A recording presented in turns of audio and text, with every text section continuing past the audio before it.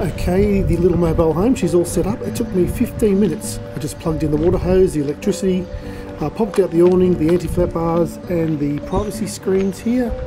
Also put out the outdoor furniture and I decided just to leave the bikes on the bike rack and I'll um, leave them locked unless we go for a spin later on. Okay, this weekend we've decided to stay at the Riverside Holiday Park in Batemans Bay. The little park itself is located on the northeast side of the new Batemans Bay Bridge and you can enter via Wharf Street.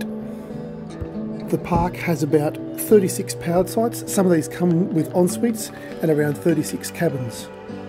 The best sites, in my opinion, are sites 59 through to 68. They're all nice and level, have great views over the Clyde River, and they all look over towards the southern end of town. I'm actually going to go for a walk over there now.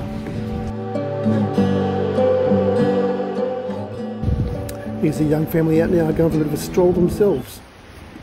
Hi guys, Bateman's Bay Ducks, BB Ducks. You wouldn't believe it, last time I was down here I was uh, whinging to the, the locals about the old bridge and I said you really need a new bridge here at Bateman's Bay and look at this, look what they've done for me. They've installed a brand new bridge. A dual lane, everything I asked for, it's right here. Can you believe it? And look at this view. oh yeah, and I specifically asked cycleway and walkway in one. And once again, they've delivered. How good is that? Marinas down there, boats. It's about a 10 to 15 minute walk over the bridge to town. Awesome views from the bridge. Uh, once you get to the other side, there's everything you need in town, including cafes, takeaways, clubs, pubs, and restaurants. You can actually do the entire walk along the river's edge, checking out all the boats, jetties, and river activities. I believe it's a shared walkway and cycleway all the way down to the marina, nice and flat.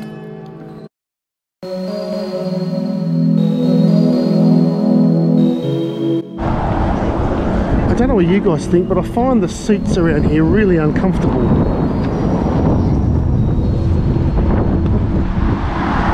Soldiers Club. I think we might be able to squeeze in a few little drinks there this Arvo. Okay, when we say we're going to go for a drink, we always deliver. Here we are at the Soldiers Club on a little balcony out the side here, looking over the river, looking over the boats, taking in the scenery. Uh, we're actually a bit protected here from the nor'easter, which is pretty cool. Throwing down a couple of bourbons and a bottle of champagne. Doesn't get much better than this. And finally, at the end of the break wall, there's this lovely little tavern overlooking the marina here. I uh, checked out some of the other people's meals. They all look really nice. We're going to go for a feed here. They also sell alcohol, which is good. but uh, yeah, it's a nice little spot, good spot to sit, and it's also out of the nor'easter once again. So here we are at the end of the break wall where all the boats come in and out. I think we've done about a 6k walk, so we've pretty much uh, burnt off the beers and bourbons and donuts and hamburgers we're going to eat now.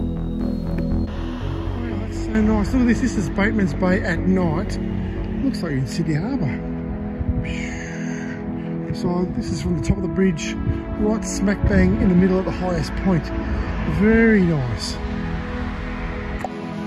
Once again, there's the bridge at night all the shops and cafes and pubs over the other side. We're now heading back towards our little boat Back at the Mobile Hilton, this little caravan park is also very quiet at night. I slept until 8 in the morning because there just wasn't enough noise. uh, Bateman's Bay is about 3 hours drive from Sydney. It's also about 2 hours drive from Canberra.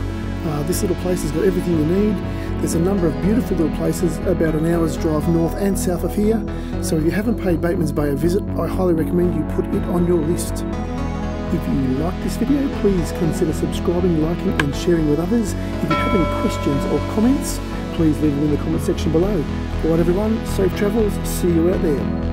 Thanks for watching.